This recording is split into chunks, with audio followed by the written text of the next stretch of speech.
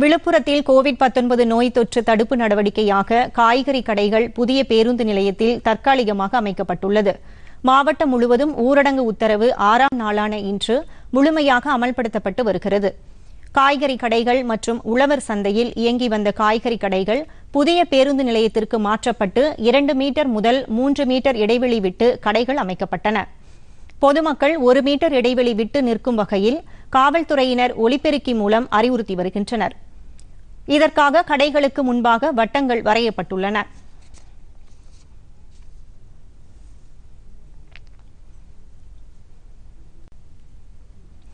அரியலூர் அரசு தலைமை மருத்துவமனையில் கோவிட் 19 அறிகுறிகளுடன் பதினைந்து பேர் சிகிச்சை பெற்று வருவதாக மாவட்ட ஆட்சியர் ரத்னா கூறியுள்ளார். அரியலூரில் இன்று செய்தியாளர்களிடம் பேசிய அவர் மதுரையில் கோவிட் 19 தொற்றால் உயிரிழந்தவருடன் விமானத்தில் பயணித்த அரியலூர் மாவட்டத்தைச் சேர்ந்த ஆறு பேர் மற்றும் இரு பெண்கள் இன்று கொரோனா வார்டில் சிகிச்சைக்காக அனுமதிக்கப்பட்டுள்ளதாக ஆட்சியர் தெரிவித்தார். ஏற்கனவே இந்த மாவட்டத்தைச் சேர்ந்த ஒரு பெண்ணுக்கு கொரோனா தொற்று உறுதி செய்யப்பட்டு அவருக்கு சிகிச்சை அளிக்கப்படுவதாகவும் ஆட்சியர் கூறினார்.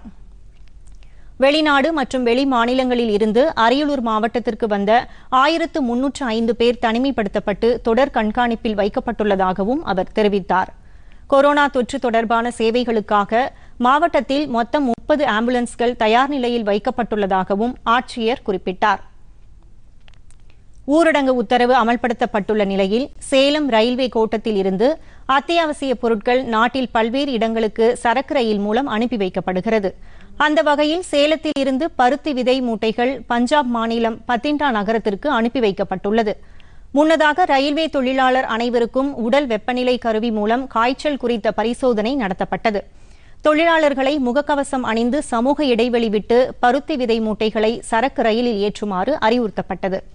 பருத்தி விதைகளை அனுப்பியதன் மூலம் சேலம் ரயில்வே கோட்டத்திற்கு இருபத்தி ஏழு லட்சம் ரூபாய் வருவாய் கிடைத்ததாக முதுநிலை வணிக மேலாளர் ஹரிகிருஷ்ணன் தெரிவித்தார்.